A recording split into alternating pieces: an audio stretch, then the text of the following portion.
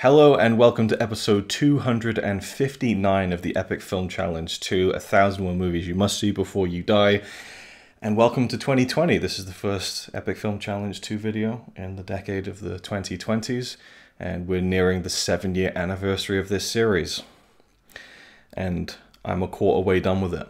So if I keep at this pace, I'll be done with this series when I'm 54. Oh, let the kids join. By which point, another 30 editions of the book will be out anyway. But anyway, yeah, So- it's gonna slow down even more when there are kids in the pictures. Yeah, yeah. But anyway, so but this is kind of a cheat of a video, but it's a film I don't think either of us want to watch again. So you've seen the title. We're talking about the film from 1987, Moonstruck, starring Cher and Nicolas Cage. Now we first watched this a couple of years ago in 24-hour movie marathon 7 because it was I think the guideline was watch a film that was nominated for best picture at the Oscars but didn't win. And we kind of looked at it and we're like, okay, Cher, Nicolas Cage, that's probably going to be kind of entertaining. And we really didn't know what we were getting ourselves in for. Well, it was entertaining. It was entertaining, yes.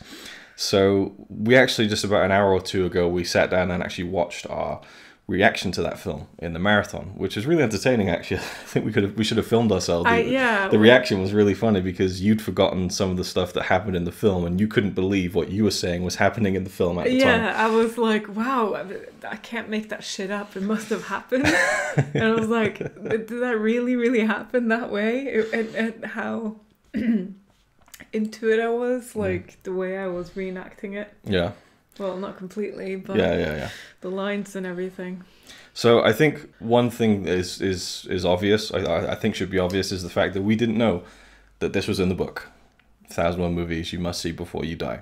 There was no reason for me to think this would be in the book. I even Um, joked about it. right. Okay. Is it a movie you must see before Yeah, you die? so- You're like, no. what we're going to do with this video because um, I think we had a good time with this, not in a traditional sense. Um, we enjoyed it for kind of the badness and the, the weirdness of it. It wasn't a bad movie. There were there was good parts to it, and, It wasn't a good movie.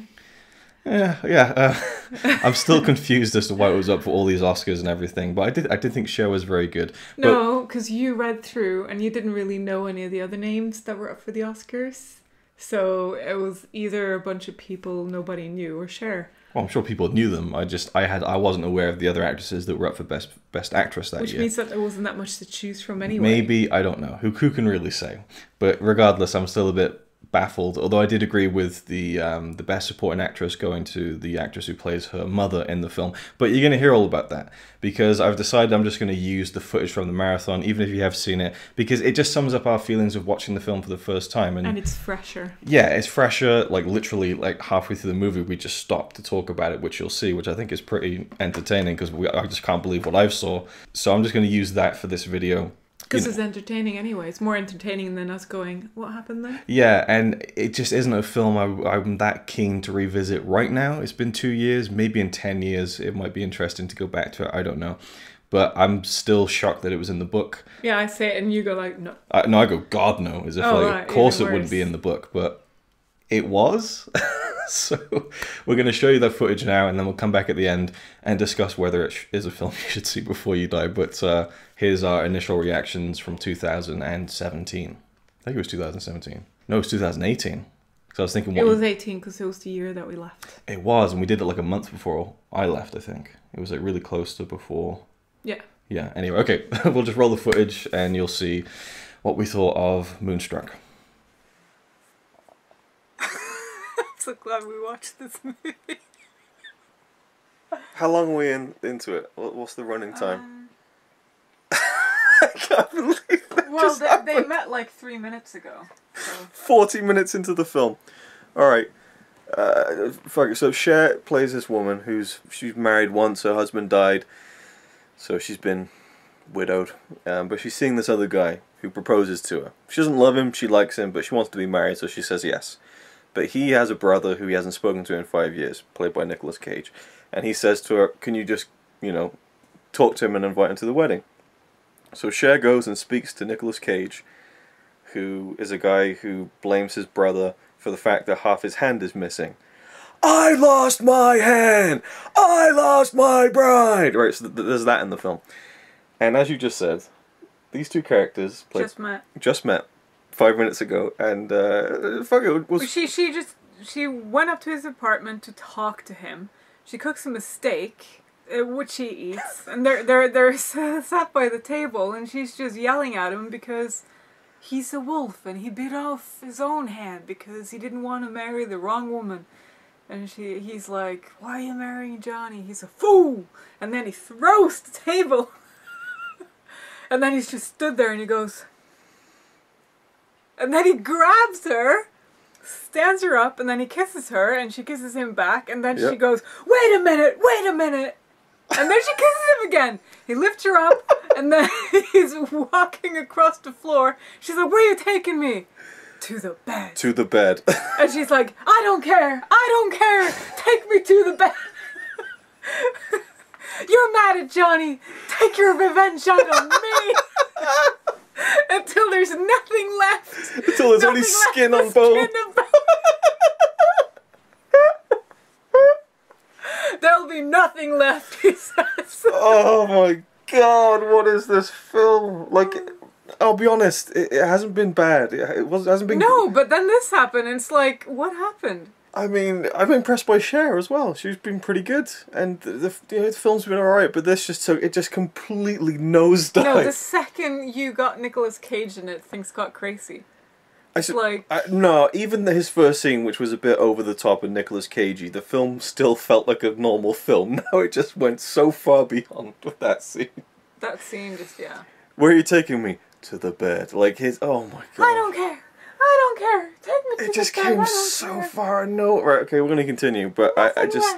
I couldn't believe Take the revenge out of me. until there's nothing left. what, did, what did Johnny ever do to her? Huh?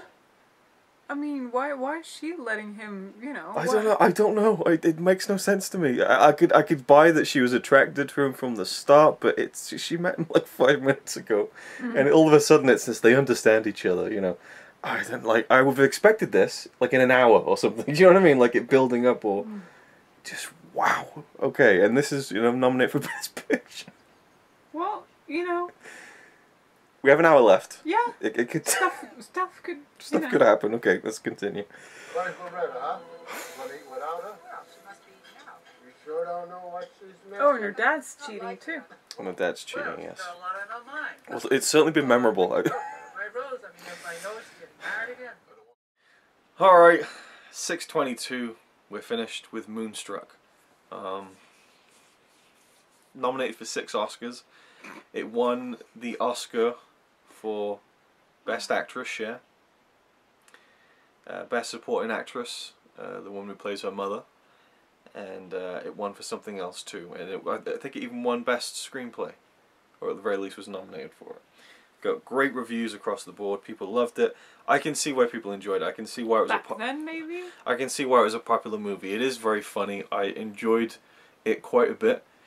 Um, but there's there's a moment at the end of the film, in the final scene, where Cher's character just goes like this, and does like the ultimate eye roll, and I just want to freeze frame that, show you that now on screen, and that's kind of how I mostly feel about the film. It's just a big kind of, oh okay.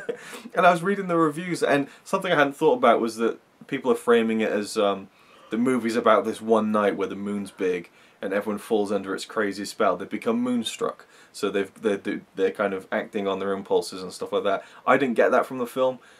When someone points it out, I guess I can see that. But to me, when the the big moment between Cher and Nicolas Cage, whether she's going to decide to go with him or not, and he's trying to convince her. This is the romantic moment in the movie. The snow begins to fall. He's talking about love and how love is never perfect. Love can be awful. and It can tear our hearts apart and stuff. Let's just embrace the awfulness of love and be together. And then he says, "Now get in my bed." Like when the cell line is "get in my bed." That's when I just kind of don't really. And I'm not saying I'm offended by that line because I mean it, it is what it is. It's just that I find it so, eh, you know, like that's it. Yeah, that's that's the but big she's, sell. she's looking at him and smiling at him like, "Oh, Well, not well. Yeah, I don't know. It. Yeah, it's it's, it's just a very weird uh, romance to me. Like uh, the, the bits of it work. You know, I like the line where he's like, "There's two things I." Well, actually, I don't even like that. He's like, "There's two things I love: the opera and you." Like I like the idea I of just that. want the two of them together. Right, I like the idea of that, but then now that I think about it, the fact that he's in love with her after like half a day, it's just like, huh? And then, Yeah, but the whole moon thing, you know, the the guy, the the, the husband in that Yeah, I- relationship was acting weird the next day too, I get it. and she was all like, you know. I, I get it, yeah, now that I think about it, but uh, yeah, it, it- it's not just that romance, it's about her parents and their kind of marital problems and things like that. Like you mentioned, her dad is, is cheating on her mother, and so that there's that kind of thing, but Nicolas Cage is just awful in some of the scenes of this film. Like when he sees her by the fountain and he's just like, Hi, your hair. It's just like, awful. Like, I know people are like, well, he's meant to be awful. He's Nicolas Cage. Like, he, he commits, man. He's great. And it's like, sometimes he's just shit. you know? And I thought that in He most. does commit when he's acting crazy. yeah. I lost my hand! He had a tooth missing as well. A B C D E F G. I mean, only Nicolas Cage can I do love Nicolas Cage. do Nicolas the Cage. alphabet that way. But yeah. it, it felt like in this film he was like only like sixty five percent Nicolas Cage, you know, and so it it was just kind of it just struck us off to me, you know. Uh, I liked Cher. I thought she was really good actually. I was actually. surprised. And I, I read up where she's from. She's from California, so I thought, oh, maybe she is this kind of Italian from New York. But I mean, the, she did the accent well. If that is put on, I don't know. I don't know much about Cher other than the fact that I thought Elijah Wood was her son, and I have read that she has a son called Elijah. That is probably where I got it from. Mystery solved. But I still think no that, cult. I, uh, mm, well, I still think there's something to it. That that that Mandela effect. uh, Look it up. Right. So, Cher won the Oscar for Best Actress. I looked at all the nominees, and it's nothing I've really seen, so I can't really compare and say that was better. But it just uh, wasn't something I ever would have expected because I all I know of Cher is that auto tune song from the late '90s. Like I know that she was famous from songs back in the '60s and stuff. I know she's had this huge career of, you know, uh, you only know. Do you believe in life after love? pretty much, yeah. Got so much great. I know. Well, I, I I'm really uh, I got you, babe. Sonny and Cher. right. Yeah. Well, okay, that I know. Now that you mention that, I know the song, but it's not And one I it's immediately. kiss. It's not one that I immediately associate with Cher. Yeah, It's just it's just that part of pop culture that is just kind of there's there's a wall there. You know, not a Donald Trump wall, but a wall nonetheless inside my head where I just don't know much about her at all. So I kind of expected her to be shit because, as far as I'm aware, she's a singer, and the only real song I know is that one that's auto-tuned and kind of bad. Even I though like that song. Well, I, I kind of like it because it reminds me of this time period, but I don't like the song very much. so I was surprised. I thought she was really, really good. Oscar worthy? Well, I, gue- I, I guess so. Maybe for that year it was a weak year. I don't know. Um, but the film, the film itself, it was. It was You could win an Oscar if it's a weak year. well, it's true. Sometimes it happens. It's just like, well, no, no, you can have an Oscar. She can have an Oscar. You all get Oscars. Oprah should host the, the next one. So, Moonstruck. What do you think? About the same as you, really. You, you kind of summed it all up. It, was good. I yeah. enjoyed it. It wasn't bad. Um, No, uh, it um, it almost kept kept me completely awake. you were getting a bit sleepy. I was getting sleepy towards the end because then the craziness was over and I expected whatever came I, after that. I did really like the actress who plays Cher's mother in the film, and I would actually agree with her winning an Oscar. I think that's that. I think really good supporting performance, especially at the end. Like her, I think she was the best actress uh, actor in the whole film, um, and her character had a good arc basically where she was kind of wrestling with the idea that well, you got Frasier's dad. yeah, Frasier's dad. Uh, it was great seeing him, but yeah, she the whole film she's kind of realizing her husband might, might be cheating on her and how she deals with that and why is he doing this. I, I really liked that. That was really good, and there were good bits with Cher too. But uh, overall, just the the main romance just didn't really do much for me at all, and was just a bit silly. And then by the end, by the end, it's just like the big eye roll. Like, really? Okay, well, there you go. That's the film, and we're done. Yeah. So, Pretty much. yeah, I guess we're kind of done on Moonstruck then. Yeah. Uh, yeah. Not watching that again. No, I, I, I did. Probably not. No. No. but I, I kind of just. Uh, I almost want to see Is that. it a movie you must see before you die? God no, but I, I don't know. I, I, that scene is just. It's so like weird. I, I need to see that scene again where she's just like, "Oh, take me, take me till there's nothing left." Like it's. It was so out of left field. I couldn't believe it because the whole movie up until that point was, was I feel relatively like normal. there was something missing before that. Maybe they cut it out. There was like a huge deleted scene Right. Like a so full day where they. so she just met Nicolas Cage's character Johnny, and she goes up to his his, his room in his Ronnie. apartment, Nicholas Cage's character's name is Ronnie. and his brother's Johnny. Yes. Yes, okay, Ronnie. Uh, it shows how memorable the film was. Just finished it five minutes ago, and she goes up to his apartment. She cooks him a steak, What's and her name? I don't know. wait, wait, Maria? I don't know. It's Italian, right? Uh, I got no idea. What do they call her? Um, uh, I have absolutely no fucking clue what. I can't remember. Johnny and Ronnie. That's all I remember. I don't know. Claudia? No, I don't know. I don't. You have to. Maybe we just better leave that and just, just yeah. Um. So the scene where she goes up to his, his apartment, she cooks him a steak, and then she's like, "Right, sit down. We're gonna talk." And then it cuts to her dad dropping off his mistress, and then it cuts back, and so it feels like no time has passed, and yet apparently. What Connie picked up on was that she asked for a whiskey before that, so apparently mm-hmm. they're drunk Yeah. out of their minds when they do the whole kind of oh take me and he's like I'm gonna put you in my bed and all that kind of stuff. So they're supposed to be like blind drunk. Yeah. But Even though she wakes up later on that night and looks up at the moon and she's like, Oh, I'm just looking at the moon. Then she goes back to bed again. She wakes up in the morning, she's like, Oh my god, what did I do? Even though she's like had this whole afternoon, evening night where she's woken up and been aware and I guess sober. And then the morning after, that's when she realizes how, you know. So it just, I don't know. But yeah, what- whatever her character's name was, she, Was she made. Fran? No, Oh, Fran was really. from the apartment. Yeah. I, I I I must assume that her name wasn't spoken much in the film, because Ronnie and Johnny were said a fair amount. So I got that at least. I don't know. And her dad's name was Cosmo, because that's a very strange Yeah. name. So I don't know. And her mother's name was Rose. You know, getting all these names filtering back to my brain, but uh, her name, no idea. What's her name? No, because it, it's, it's more from her perspective and stuff. So I, I, I don't think that uh, it's said very much, if at all. I, it must have been said at some point. I don't know. We When don't know. propose? Yeah. Oh, I think it's Maria. Bobo. I think it's Maria. I think it is. I even remember the waiter, Bobo. Bobo. Right? Yeah. Bobo. oh, please remove all evidence of this girl and bring me a large vodka. Look, look we have to find out a name now. Look it up. Get on um, IMDb, Wikipedia, whatever the equivalent is. It's uh, Loretta. Loretta. I thought.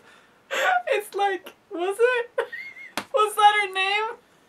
Get back, Loretta. We Loretta. remember Bobo and Cosmo and Rose. Bobo. Oh my god. So there you have it. That was our first thoughts and reactions to Moonstruck. And I don't think we would glean anything new from revisiting it. Maybe we'd be more prepared for how ridiculous it was going to be and we might enjoy it a little bit more, but Less shocking. less shocking. more yeah. funny rather than sitting with our mouth hanging open thinking this Yeah. is, is this happening? And I think I think someday we will watch this again and we'll enjoy it based on the memory we have of it. And you know, Pretty distinctly said in the video that I don't want to watch it again. I think we will watch it again at some point. I think at some point in the future. We're gonna be like, was it really that bad? Yeah, I think it's going to be like the curiosity factor. And Maybe then- on its 50th anniversary. so in 2027. Right. Okay. That's not that far off actually when you really consider it. So Whoa, whoa, whoa, whoa, whoa. what? 27. What am I saying? That's the that's the 40th. So 37. Okay, that is quite quite a way off. Yeah, the Earth probably won't even exist at that point. We'll all just have exploded and destroyed everything. If we're lucky. If we're lucky. Right. So, Moonstruck is it a film you should see before you die? No. Part of me wants to say yes, because it was really The self-destructing part of himself. yeah. Like some men just want to watch the world burn, that kind of thing. But I think there's It's like a train wreck. You can't help but look at it. yeah there's I, I think it's going to be entertaining no matter what and people love this film. Like i've i've seen people i know who think that this is like one of their favorite romantic comedies. They really enjoy it. I was reading the the write-up in the book to see like how can they possibly explain this? And it's like you know Nicolas cage and Cher they slowly begin to fall in love with each other. And it's like no Slowly, it's no it's it's instant. There's no development there you know that kind of thing. But i guess it's the whole moon and everyone falls under its spell which is kind of part of the comedy of it. Uh, and it said many people tried to repeat, you know, this kind of formula, but none have bettered it. And I'm just like, really, really, no one's bettered this film. Uh, I, I I disagree.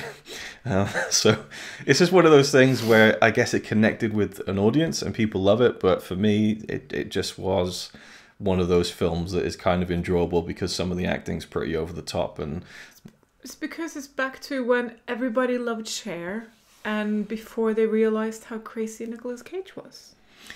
I don't know. I feel like how crazy Nicolas Cage is perceived to be these days would make people enjoy this even more. So I don't know. Uh, I can't really say. Probably because you always want to see him craze, Yeah. craze out, But but but ultimately, taking the nick. no, okay. ultimately, I don't think that this is a film I'd recommend to anyone. You know, maybe I'd say the scene in the bakery when he's ranting about his hand being washed. You might want to check that out on YouTube. It's pretty funny. Or maybe the scene where she's like, you know, take me to the bed. But apart from that, you know, there, there's good stuff in the film. It's a good film, but it just isn't really more than that. I don't think. I don't know. Maybe re- revisiting it would change that. But for me. Even if I revisited it and thought, "Oh wow, this is really good," it's still not great. There's no way it's a great film, and considering You're not going to say really good either. yeah, and well, maybe not. But Tolerable, maybe. considering the films that could have been in this book that aren't, Great Dictator, um, Hidden Fortress, um, I, I don't know why it's in there. But, you know, at least it's a varied book in terms of having the kind of crowd pleasers in there. But Well- I, I do not think it's a film you should see before you die. I think most people could live pretty comfortably as a film fan without seeing Moonstruck. Well, that goes for a lot of great movies as well. Some of those movies are in there just because they're as strange as they are. Like Troll 2, I think that's the movie that most people should see because it's so horrible. Yeah, but with see Moonstruck, it has those moments where it's like, oh, that's really bad, but it's not like, oh, it's so bad you got to see this. you No, know? no, exactly. That's why it doesn't Troll is so consistently like you know. Yeah, exactly. That's what I mean. Moonstruck isn't bad enough. Yeah, yeah, exactly. And it's not good enough either. It's just mediocrely Yeah, yeah. horrible. no, I wouldn't say horrible. It isn't. It, it It's just horrible. mediocrely bad. I did really. I, I, I, as I watched us talking about it, I do remember being really impressed with Cher, but that might be kind of the fact where I, I wasn't expecting it to be any good, you know. Um, but yeah, so it's just one of those things we, we didn't love it, and Kind uh, of like Adam Sandler, you're not expecting him to do good, but then he's actually pretty good for him, but Yeah. not amazing when you compare it to other people. Anyway, so that was our thoughts uh, on Moonstruck from two years ago, and our brief thoughts now on why we don't think it's a film you should see before you die. So I think that's pretty much it. Yeah. Uh, thanks for watching, and we'll see you in the next one.